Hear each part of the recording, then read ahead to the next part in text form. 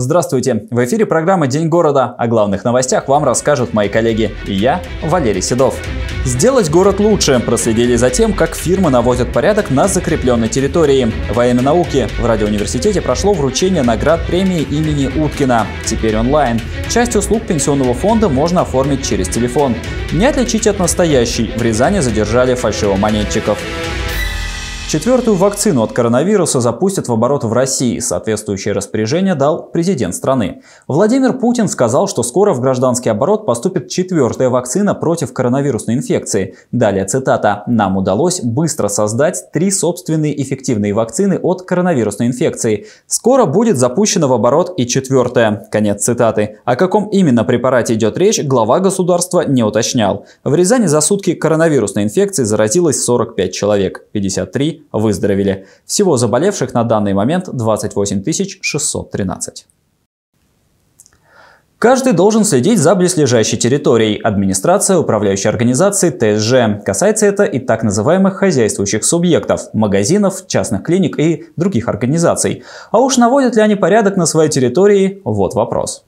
Улица Пугачева, район, известный как поселок Шлаковый, к сожалению, не отличается опрятностью и чистотой. Мусор возле магазинов, на обочинах дорог, развороченные парковки. Все это выглядит, будто мы находимся вовсе не в современном крупном городе. Между тем, благоустройство и чистота городского пространства, особенно в спальных районах, комплексная задача, которая требует консолидации усилий власти, жителей и организаций. Порядок на дворовых территориях и площадках перед торговыми центрами, магазинами, кафе – задача управляющих компаний в первом случае и хозяев заведений во втором. В рамках э, поручения губернатора Рязанской области, главы администрации города Рязани и возложенных э, полномочий на работников э, муниципального казенного учреждения управления по делам территории города Рязани проводим комплекс мероприятий, направленных на повышение благоустройства территории города. А, эти мероприятия у нас складываются из разных контрольных мероприятий в плане контроля за соблюдением правил благоустройства это прилегающих территорий. Кроме того, префекты проводят работу по привлечению организаций к добровольному участию в благоустройстве города. Например, крупный торговый центр на Московском шоссе ответственно подходит к своей роли в жизни общества. Здесь высажен газон и саженцы деревьев вдоль дорог. Еще один прекрасный уголок появился благодаря медицинскому центру, чье руководство решило не оставаться в стороне от проблем города. Мы стараемся активно участвовать в жизни нашего родного города Рязань. А, и для нас важно, чтобы прилегающая территория, территория, прилегающая к нашей клинике, была благоустроена. Поэтому мы постарались сделать красивый, уютный мини-сквер на радость всем рязанцам. Такое взаимодействие бизнеса и города, как мы видим, дает прекрасные плоды. Мы с вами находимся на одном из старейших перекрестков города Рязани, перекресток улиц Дзержинского и Гагарина. Вот, все вы знаете, что здесь уже много лет существует так называемый в народе торговый центр «Десяточка». Сегодня здесь разбит небольшой сквер. Вообще, как бы, нам он очень нравится. Очень приятно, что предприниматели по собственной инициативе, без какого-то давления, без какого-то приказа, решили благоустроить территорию, которая прилегает к данному медицинскому центру. Пример того, как бизнес сотрудничает с городом и благоустраивает пространство общего пользования, всем известная улица Мюнстерская или Лыбецкий бульвар. Гостинично-ресторанный комплекс, известный как Старый город, уже много лет поддерживает территорию вокруг вокруг себя в прекрасном виде. По инициативе главы администрации города Рязань Сорокина Елены Борисовны мы обратились э, ко всем, ну не ко всем, то есть к большинству э, руководителей организации с тем, чтобы они приняли участие в благоустройстве своей прилегающей территории, ну, в том числе и к э, руководству ООО «Старый город». Ну, «Старый город» с удовольствием откликнулся на нашу просьбу. Они, вот мы видим здесь, что они высадили кустарник совсем недавно.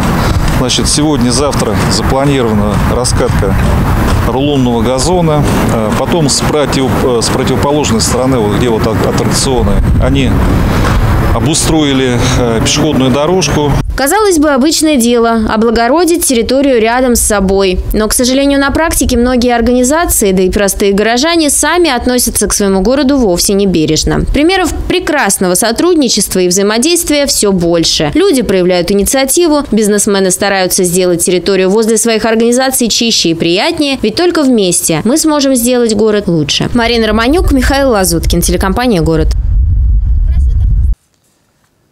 Развитие современного общества невозможно без научных достижений, воплощенных в новейших технологиях. Это одна из важнейших составляющих национального богатства страны, мощный ресурс экономических преобразований, эффективный инструмент повышения качества жизни людей, заявил глава региона Николай Любимов на открытии торжественной церемонии вручения наград премии имени Владимира Уткина.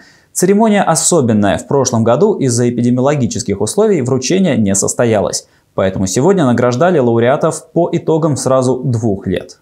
Участник Великой Отечественной войны, выдающийся ученый Владимир Уткин всю свою жизнь посвятил служению Родине. Масштабный проект «Интеркосмос» начинался с его участия. Владимир Федорович внес вклад в разработку программ экспериментов и прикладных исследований на борту МКС. Друзья, Владимир Федорович Уткин э, умел находить наиболее эффективные решения при минимальных ресурсно-временных затратах. Сегодня этот принцип актуален как никогда. В послании президента Российской Федерации Владимира Владимировича Путина Федеральному собранию много внимания уделено экономике, необходимости внедрения новейших технологий. Именно это является основой для роста благополучия и социального комфорта людей. Сегодняшним студентам Рязанского университета, радиоуниверситета, предстоит включиться в эту работу уже в самые ближайшие перспективы. Открытие бюста выдающегося ученого в радиотехническом вузе – старт мероприятия, ведущих к празднованию столетия ученого. По сей день живо его дело и свидетели великого ума. Чтение памяти таких людей – это, вообще говоря, наш долг, может быть, я постарше э, основной массы присутствующих, и молодым имею право давать советы, но когда директор музея в Кремле захотел его портрет повесить при жизни в галерее выдающихся людей, это было очень серьезное признание, он очень растрогался. Радиотехнический университет до сих пор несет знамя ученого. Сотрудники, преподаватели пытаются заложить нынешним студентам основной принцип, завещанный Уткиным. Владимир Федорович э, является представителем той замечательной плеяды э, российских, советских инженеров, ученых, разработчиков, которые э, всей своей жизнью, всей своей, всем своим опытом, своими усилиями показали, насколько важны для страны люди, умеющие доводить до конца технические разработки, создавать новые, э, рисковать.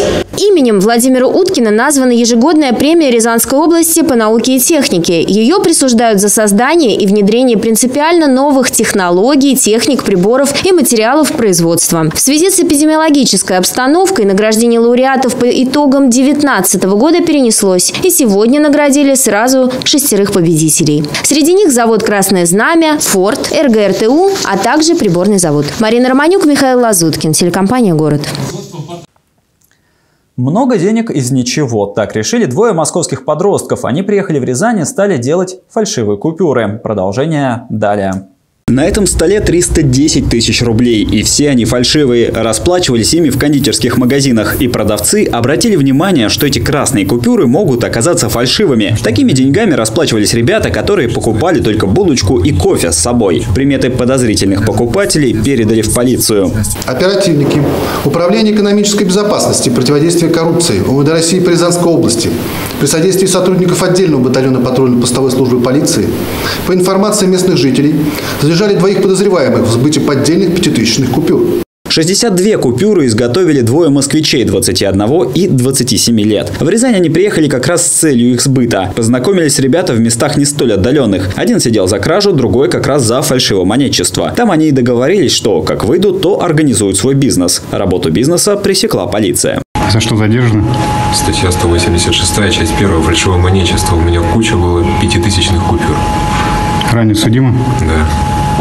Какой статье? За то же самое, 186 часть 1. Москвичи сбыли только 8 купюр, 3 через кондитерские и на 5 купили смартфон через объявление. В отношении злоумышленников возбуждены уголовные дела по статьям Уголовного кодекса Российской Федерации о сбытии и хранении в целях сбыта поддельных денег, за что предусмотрено наказание в виде лишения свободы на срок до 8 лет. Подозреваемым избрана мера пресечения в виде заключения под стражу.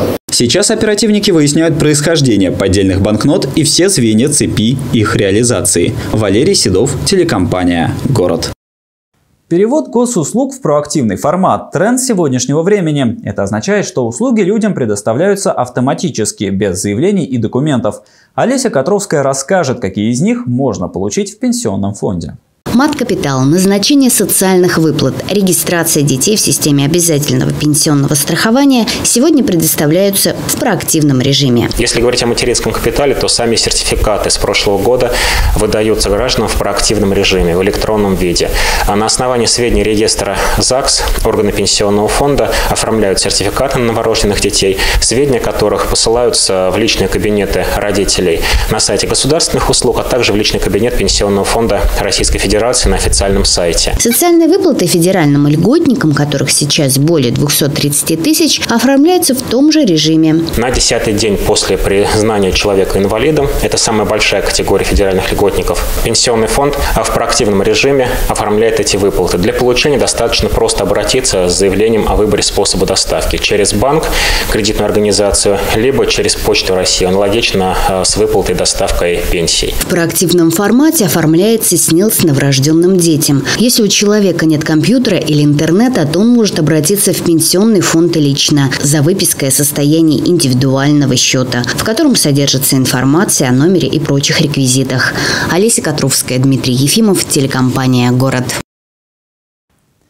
18 мая в мире культуры отмечают Всемирный день музеев. В Рязани их 42 и еще больше по области. Но сегодня поговорим только об одном – художественном. Его история началась больше ста лет назад. Тогда в здании бывшей мужской гимназии появилась самая первая экспозиция. Больше чем за век там выставлялись только оригиналы, среди которых редчайшие работы Коровина, Айвазовского и Серова. Дорога в тысячу верст начинается с маленького шага. Пословица, применимая к Рязанскому художественному музею имени Пожалостина, который появился в период так называемого музейного бума. Но путь становления его был особенным, ведь большинство крупных галерей – Третьяковка, Русский музей – существуют благодаря положенным в основу частным коллекциям крупных меценатов. А вот Рязанский художественный музей – вклад многих людей. Их имена, кстати, увековечены на мраморной табличке, расположенной у главной лестницы. А в самом названии музея – имя Ивана Пожалостина, знаменитого этого графика. Помимо э, работ известных московских э, живописцев, э, в коллекцию музея были переданы дочерьми Ивана Петровича Пожалостина 21 наименование его гравюр, рисунков, в том числе ранних студенческих работ, которые делал будущий художник в Академии художеств. Это рисунки натурщиков.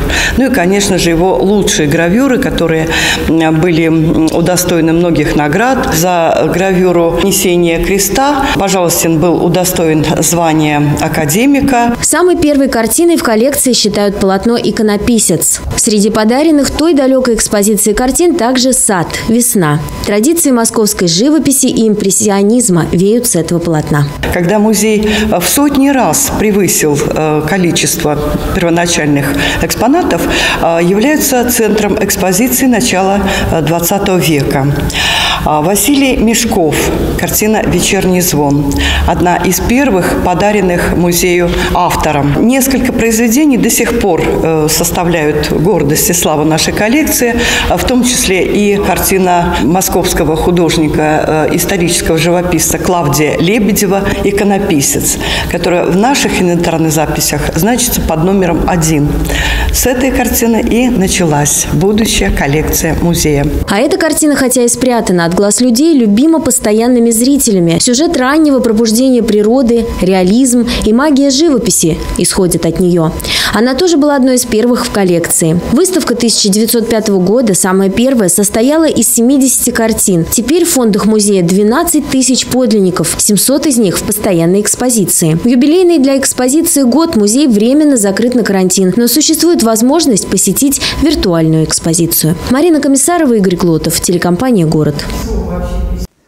Это были все новости на данный момент. Еще больше информации вы сможете найти на нашем сайте город62.тв и в группе в социальных сетях.